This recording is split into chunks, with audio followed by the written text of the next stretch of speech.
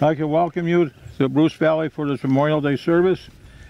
And uh, first of all, we're going to raise the American flag, and Ernie Logo is going to sing the national anthem. So, ones that are able, stand and salute with a hand over the heart.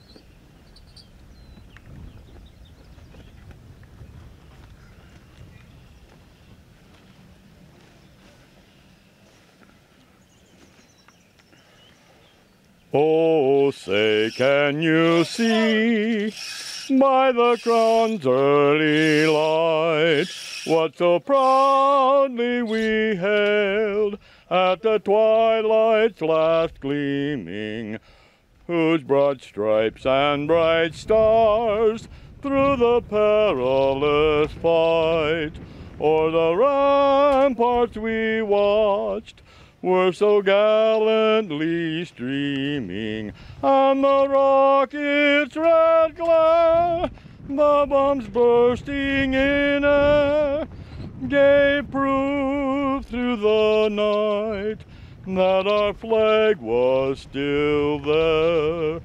Oh, say does that star-spangled banner yet wave? For the land of the free and the home of the brave.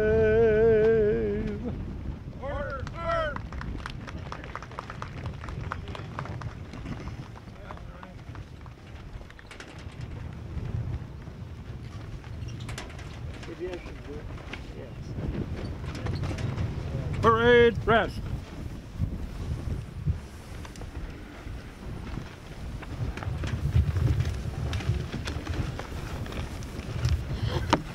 Okay.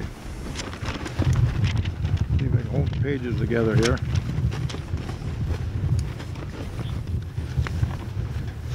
Okay, the opening prayer. Ernie, you're back up again.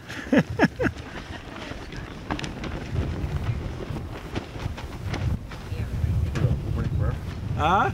You mean for the prayer? Yeah, yeah.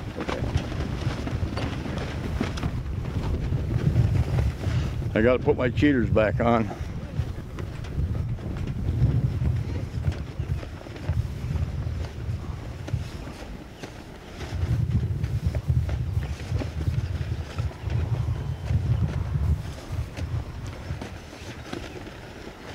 Let us pray.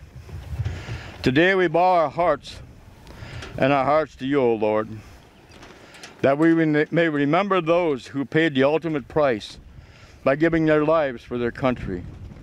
We can never be grateful enough for the sacrifices they made, and we are humbled by their willingness to put their own lives aside for the benefit of ours.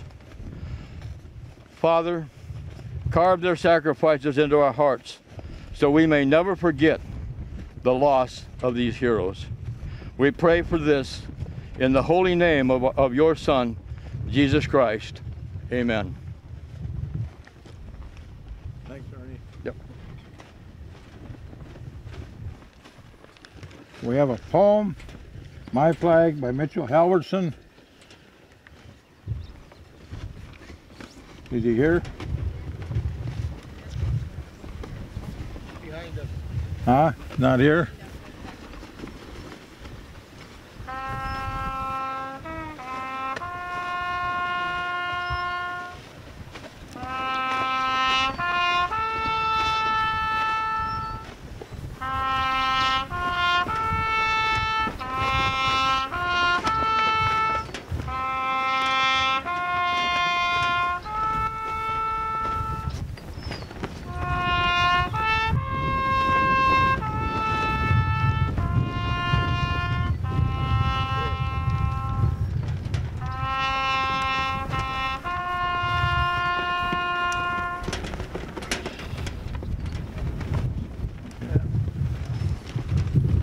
Gettysburg Address by Bob Goopsman. Gilso. Gilso? Okay, Bob.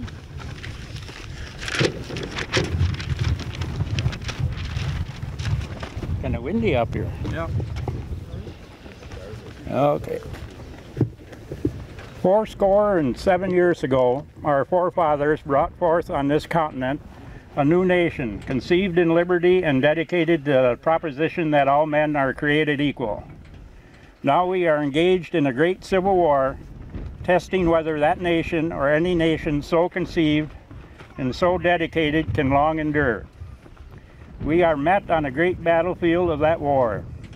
We have come to dedicate a portion of that field as a final resting place for those who here gave their lives that, that the nation might live. It is also to get, it is also altogether fitting and proper that we should do this. But in a larger sense, we cannot dedicate, we cannot consecrate, we cannot hollow this ground. The brave men, living and dead, who struggled here have consecrated it far above our poor power to add or detract. The world will little note nor long remember what we say here, but it can never forget what they did here. It is for us, the living, rather to be dedicated here to the unfinished work which they who fought here have thus far so nobly advanced. It is rather for us to be here dedicated to the great task remaining before us that from these honored dead we take increased devotion to that cause for which they gave the last full measure of devotion. That we here highly resolve that these dead shall not have died in vain. That this nation under God shall have a new birth of freedom. And that government of the people, by the people, for the people shall not perish from the earth. Thank you, Bob.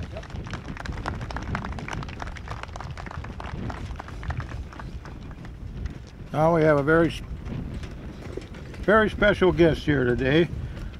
He's gonna, Mr. Reynolds Tomter. Bill?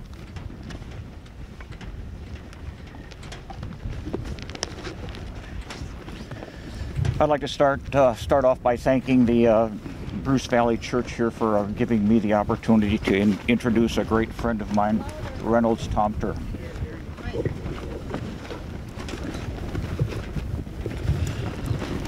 I'm really humbled and honored to be able to do it. When Judy asked me if I would do the introduction, I said, sure, he's a friend of mine. I know him. I'd be happy to do it.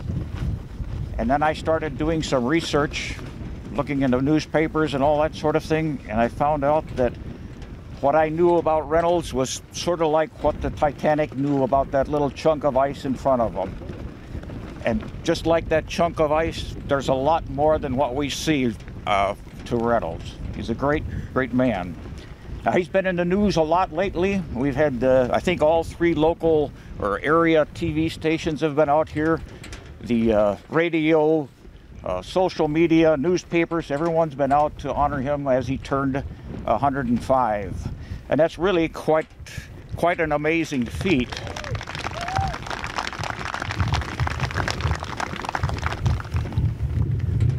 But what makes Reynolds great is not that he's lived for 105 years. What makes him great is what he has done during those 105 years and how he's done it. Um, he is uh, just a great man. Today I want to tell you just a little bit about what I know and found out about him. First off, he's a World War II veteran, and there aren't many World War II veterans around. Um, I first met him, I was at a Veterans Fair in Arcadia at the uh, Arcadia Memorial Park. Those of you that know it, there's a nice long walk from the shelter where we were at a benefit fair. A long walk down with all the statues along the way. Uh, he asked me to, to walk with him down through there, and we walked from one end down to the other, talking, me mostly listening. And by the time we got back, I knew I had, I had met, met a truly great man. Back during World War II, uh, Reynolds was a young man. He was married, had a small child, and he got his notice from the county to report to Milwaukee for an induction physical. He took off from Milwaukee, obeying his orders, went down to Milwaukee, hoping that if he were selected, that he would be selected to go to the Navy. He wanted to serve in the Navy. Uh, and there, he was kind of happy that day because he, he heard that the Navy was, was picking a lot of people that day from the crowd uh, that was in there for their physicals. He was in line with a bunch of guys and they were going down. Navy was taking, Navy was taking. The guy in front of him was going to the Navy. And then they got to Reynolds and he says, Army. And just like normally happens, you know, with government stuff. Well, Reynolds didn't uh, just say, okay, I'll go to the Army. He thought, well, there's a recruiter just down the street a little ways for the Merchant Marine. And uh, so he walked down there and registered with the Merchant Marine. And uh, then it was just a matter of which service was going to call him first, which service had the need and, and made the call up. And uh, he was called by the Merchant Marines. He, so he entered the uh, Maritime Force as a member of the Merchant Marines. Now, the Merchant Marines is kind of an unknown force. If you ask people to name the uh, different armed forces, you probably get the Army, Navy, Air Force, Marines. Sometimes people even remember the Coast Guard. And now, every once in a while, people even talk about the Space Force. But very seldom do people talk about the Merchant Marine. It's a very unknown force that is, I don't quite understand why it isn't as well known as it is. Basically, the, Marine, the Merchant Marines uh, use using civilian vessels are hauling equipment, supplies, troops to war zones or wherever they're needed. And these ships were manned by the Merchant Marines. Um, Reynolds, um, you know, he was went back and forth across the ocean. These guys going across the ocean were basically sitting on powder kegs, and, and I literally mean sitting on powder kegs many times as they're making the trip across. 17 days out there uh, facing the natural uh, hazards of an ocean voyage, plus the uh, submarines were just waiting for these ships. Uh, Reynolds one time here showed me a picture of an article or an article from a newspaper that was written by German World War II sub uh, drivers or sub crews. And they talked about how they laid out just outside of our ports. Some of them were actually in the harbors watching to see which ships were getting loaded with what, so they knew which ships were the best targets to use uh, their ammunition up on.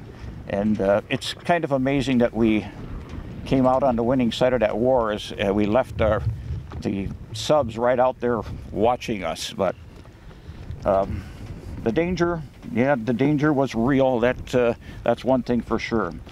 Reynolds served his tour in the Atlantic and Mediterranean oceans. Um, I can tell one thing about him is that people in the uh, on board the ships really liked him. For one thing, he was a very likable person, and for another, he was the baker. He made the bread and the pies and fed the troops. So anybody that's been around a military unit of any kind realizes that uh, those are the guys you kind of buddy up to. Um, and if any of you have fed teenagers, when you've got a boatload of teenagers, and I mean a boatload, it, you got your hands full and he indicates that uh, there wasn't always great uh, equipment on board. Mixing uh, the bread, there weren't nice big mixers and that sort of thing. So uh, he, he did uh, went through a very difficult time uh, with it. After World War II, our nation decided to give our World War II veterans some very good veterans benefits. We had education, home loans, all sorts of good things for uh, World War II veterans coming back.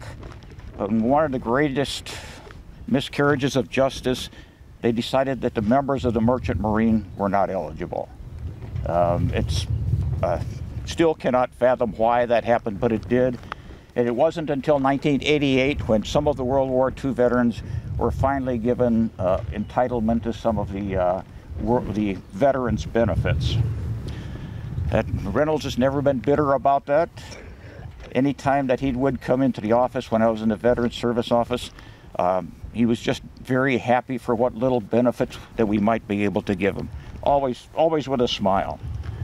Our Congress here, just uh, within I don't know, the last two weeks or so, uh, finally got around to uh, awarding a uh, Congressional Gold Medal to the Merchant Marines, um, the Mer- Merchant Mariners, uh, and they had a very nice ceremony uh, in Washington D.C. It's it's only about time now since uh, uh, I don't know why they had to wait till almost all of them are gone, but. Um, they are going to make some replicas of that, and hopefully we'll have them out here one day, someplace to, to present a replica of that award uh, to Reynolds. One of the things when I was searching for information on Reynolds, I found that he's a very civic-minded individual. If there's anything that he could do to help other people, especially in the Pigeon Falls areas, he was out there at the forefront to do it. Um, he was involved in just about every organization that there is, and he wasn't just a member of the organization, he was involved in the actual working of the organization. Those of you that belong to any organization realize that when it comes time to elect officers, everybody's hiding. Uh, not Reynolds. Reynolds is out there in the forefront, always uh, an officer doing just about everything that he could with each of the each of the groups. He's a lion. He was a charter member, or as a charter member of the Pigeon Falls Lions Club. Was there at it was founded, and was an officer right away with the group, and continued to, to work with it. The Lions uh, motto of "We Serve" it definitely fits uh, Reynolds. He's active with all kinds of groups Boy Scouts, 4 H, especially in the fundraising department. They always got him when they were looking to raise some money. Um, the uh, Pigeon Falls, the city itself, or the village of Pigeon Falls, probably would not be there if it wasn't for uh, Reynolds. Uh, he was very active in getting the um, the village incorporated and become a village, and then that's not that's just kind of the start when you get incorporated as village. Then it was water and sewer and fire department, and he was very active in all of those active in all of those in all of those endeavors. Um, area needed a hospital. Tri County Memorial Hospital was getting started up, and guess who was out there at the forefront raising money? He was one of the section chiefs to, to go out and raise funds, and we probably wouldn't have a hospital here. Or that's, and now we're getting a new one, but for the many years that we've had a hospital there, probably wouldn't have been there without Reynolds. When the Pigeon Falls School needed a an addition to the building, there was Reynolds at the at the forefront again, raising the funds. He was active in Tri-County Telephone Cooperative. They go through up and down our valleys here. We've had uh, excellent service, uh, fiber optics, long before any other places because of Tri-County Telephone Co-op. And he was on the board many years ago and kept that, got that organization going, and it's it's continued to be a good organization. Pigeon Falls Nursing Home, another one that wouldn't be there without Reynolds many more activities that I could go to, but if I continue going through, we'll be celebrating his 110th birthday out here if I were to, if, to get to all he's done. He's a very good businessman too. He was uh, started out working at the store in Pigeon Falls, and those of you that may know a little about that store, it was a great big store. They had everything in that store that anyone in the area would need. They had uh, groceries, they had clothing, they had hardware, furniture, a little of everything. Uh, Reynolds once told me that they had everything there from cribs to coffins and anything else that you'd need between the two. Matter of fact, they had two ambulances there and a hearse. At times he was called on to drive those vehicles. So he's had a, a, a quite a business. It, just tracking inventory in a place like that had to be a, quite a bit. He, started off working in the business and later owned the business and worked there, ran that for many, many years.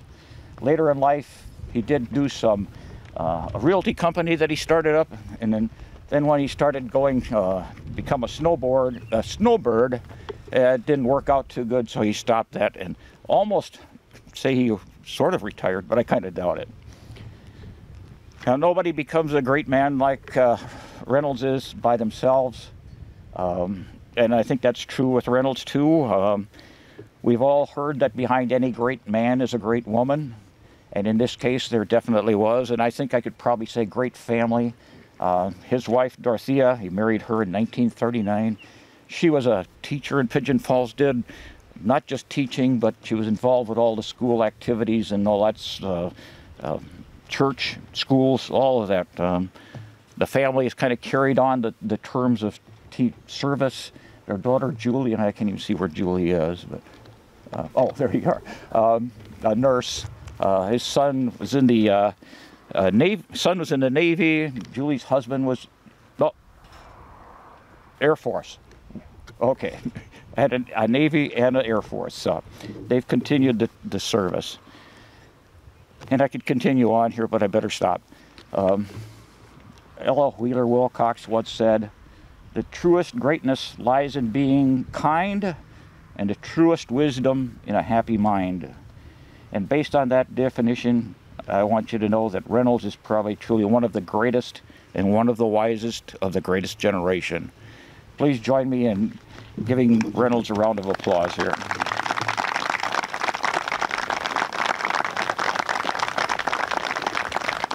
Okay. Yep. Well, here I am, folks.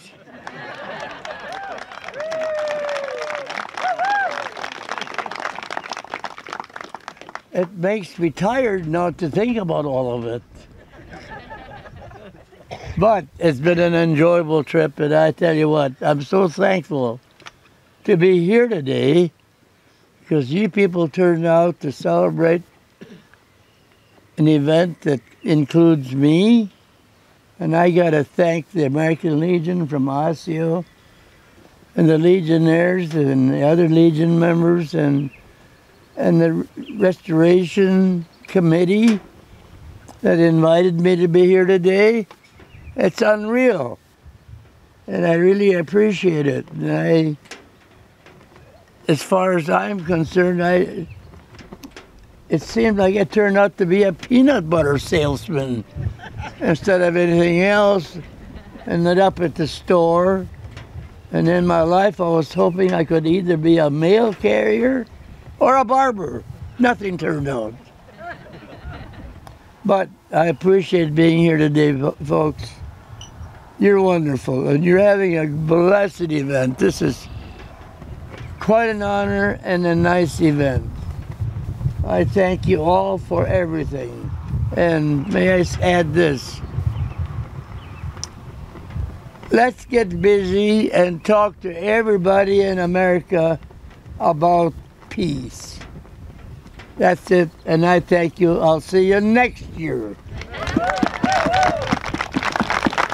And my my motto is this have a nice day unless you have other plans. Okay. I want to give you this flag, but also the uh, County Legion, the County American Legion's got a little certificate here they'd like to Good. present to you. Okay. Let me use the microphone here in a minute. Yep. I want to thank uh, our Heavenly Father Reynolds for blessing you with the life he's, you, he's given you. And everything you've done is, is your gift back to him.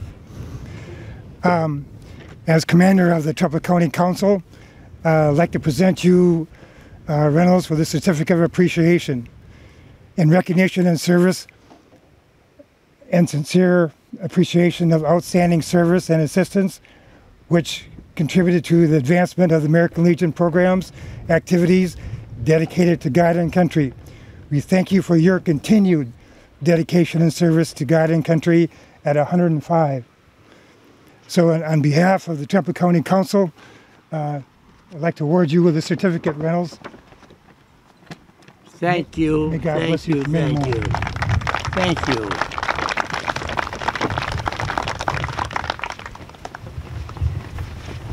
Reynolds open that. That way you can walk. Okay. I'll guide you down again. Going down? Yep, Okay. right over here. Well, he's going back to his seat. I, I'd be remiss if I didn't introduce one gentleman here.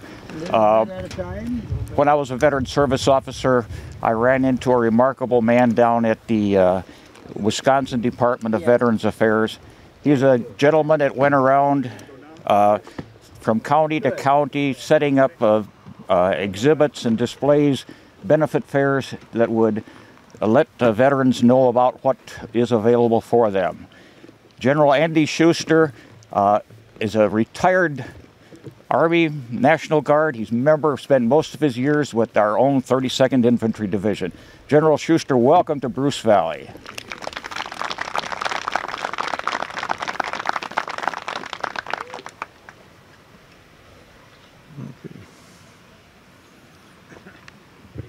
Now we're going to get to our guest speaker, Mr. Chris Pettis. He's director of the High Ground at Neillsville. He's a 23-year veteran of the United States Marine Corps and heck of a nice guy. He's got a busy job. Here, Chris. Thank you, Buzz. It's a little, uh, little hard to follow the uh, life of this fine young man right here, but I will do my best. And to those that are standing, I will do my best to get this done in a few minutes because I know those flags and rifles are getting a little heavy. Everybody hear me okay? Our flag does not fly because the wind moves it. It flies with the last breath of each soldier who died protecting it. Today we remember and pay tribute to the men and women who have given their life in service of our country. Since World War I, over 440,000 Americans have died in defense of our freedom. They're not just fallen heroes or warriors. They had a life, family, friends, goals, and dreams for their future. And maybe it's foolish to mourn the men and women who have died, but rather be thankful that such individuals lived. Those who have long enjoyed the privileges we have forget in time those that have died to keep them. And their courage in the face, their courage in the face of fear that few will ever have to experience warrants more of one day of honoring in their life. We cannot only honor them today, but every day by honoring and living a life worth their sacrifice. Today we stand amongst those defenders of freedom. Some are still with us in body and mind, another only in spirit. To those veterans here today and their families, please know that I am humbled and proud to be in your presence. And I, and I appreciate and I'm grateful for your service. And for those among us only in spirit, I believe that we die twice. Once when we take our last breath, and once when their name is said for the very last time. So I'm going to take a few moments and I'm going to read the names of those that are with us in spirit on this ground in which we stand. Edwin Anderson. Ronald Anderson. Orville Franson. Harvey Gunham. Donald Kensmore, Guy W. Kensmore, Russell E. Kensmore, Tommy C. Lee, Merlin C. Loga, Stephen D. Loga. Allard Skip Skovbrot. Thank you,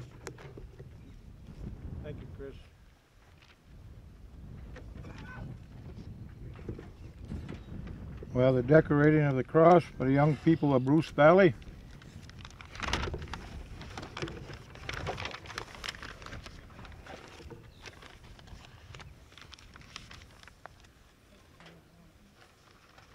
Flip it around.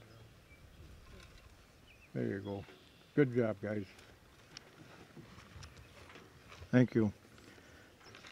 We'll now have a closing prayer by Ernie Loga, followed by a salute by the firing squad and taps.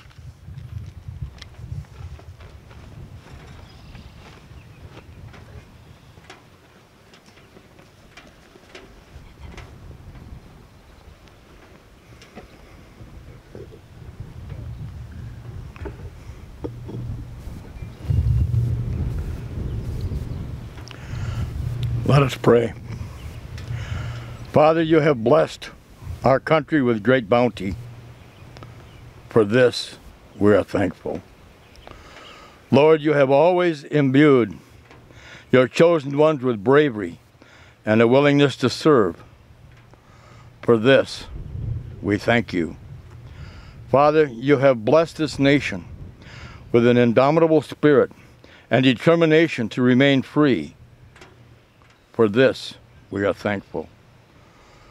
Lord, we pray you'll help us always be grateful for the sacrifices that have been made to keep the USA free. May it always remain so. Now, as we depart, we know that you have blessed us with the service of remembrance. Help us to never forget the sacrifices these men and women have made so that we may be free. In Jesus' name we pray. Amen.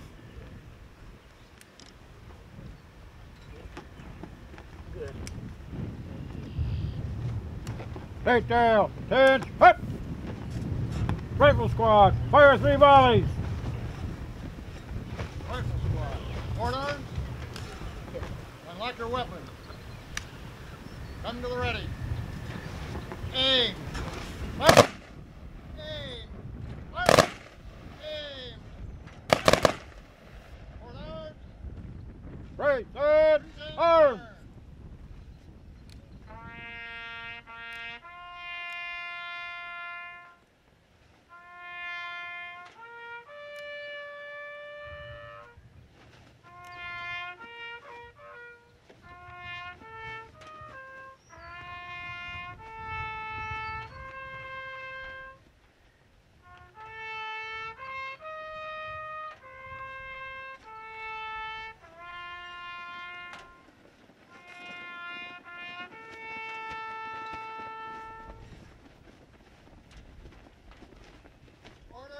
Order. Arms.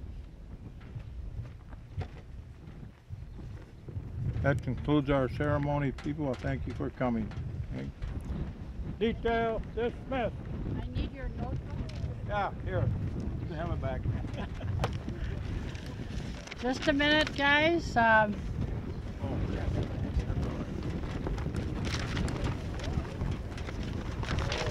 Judy, where's my write-up? Did I steal it from you? No, there it is. You found it? Okay. I want to thank the Legion Post 324 for their yearly service coming to Bruce Valley, which has been over 30 years. To Mr. Ernie Loga for his words and prayers. To Bob Gilso for reading the Gettysburg Address. And to Mr. Reynolds Tomter for coming to Bruce Valley and resembling a World War II veteran. You better come back next year. We mean that. To Bill Toma for his great help in the recognition of Reynolds and doing his research and for his speech. To Mr. Chris Pettis, Executive Director of the High Ground from Neillsville. Those that did not know, he is the Director of the High Ground, and I thank him for coming today for the fact I'm sure on Memorial Day he's going to be up there to Mitchell Halverson for playing the taps. He's done this more than once. And the young people who participate, which were my two grandsons, that has a mother from Thailand. So how they appreciate America compared to us. I want to thank everyone for sharing this day. Thank you for eating us out of all the meatballs and come back again.